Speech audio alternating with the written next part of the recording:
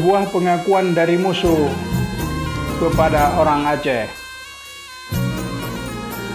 Kehebatan perang yang dilakukan oleh orang-orang Aceh diakui oleh seorang wartawan Belanda yang pernah ikut dalam dinas kemiliteran Belanda, H.C. Zengraf.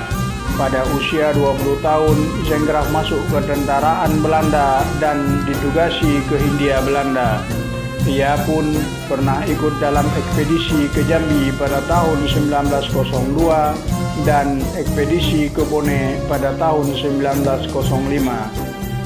Ia banyak menulis di koran Java Bode, Batavia New Van de Dak, dan New Surabaya Koran dan sempat menjadi direktur Java Bode.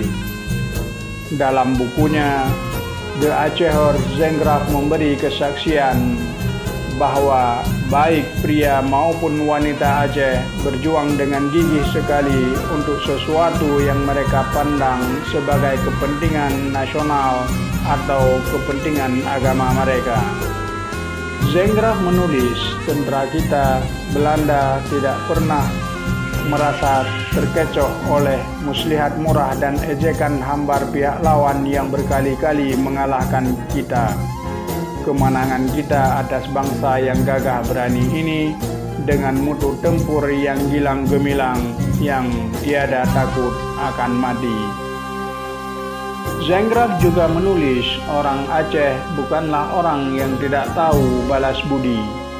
Ia berkisah tentang Sepen, orang Belanda komandan divisi dan sekaligus kepala pemerintahan sipil di Aceh yang dihormati oleh orang-orang Aceh dalam tugasnya sebagai kepala pemerintahan sipil di Aceh.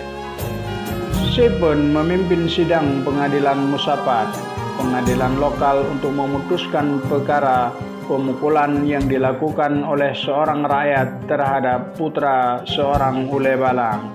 Pasalnya, putra sang ule balang ini mengganggu istri tergugat tersebut. Sipon memutuskan putra Ule Balang itu bersalah dan dijatuhi hukuman tiga bulan penjara. Sang Ule Balang yang hadir, Tengku Tite Ali, tidak menerima keputusan tersebut. Dengan rencong terhunus, Tengku Ali segera menusuk perut Sipon.